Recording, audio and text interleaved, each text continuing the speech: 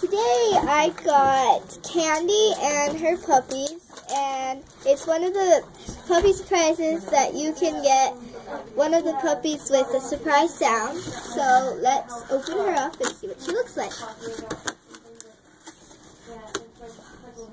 So I'm back and I got her out of the box. I just need to cut this part off. It's the little thing from the tie from the box. She's like really soft and colorful. And she looks pretty much like all the other ones with the PS for the puppy surprise sparkly nose.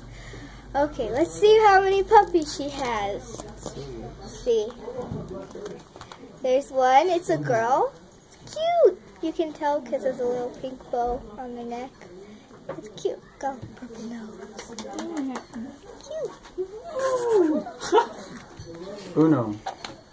Let's see, there's another girl with a pink nose. Um, oh, does this one talk? No. Let's see, there's another one with a pink nose. It's all girl. Yes. It's a it's a runt. And it's the one it makes noise. Oh my gosh. And it's smaller than the other ones. That's amazing. What's the Yay! names of your puppy or your horse or puppy? Is that it? I'm not sure. Is there any more? Um, nope.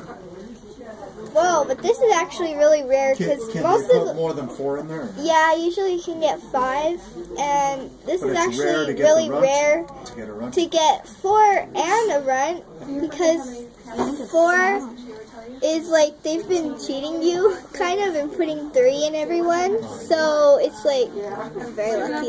Is that like a collector's? Um, thank you for watching, and please hit the like button.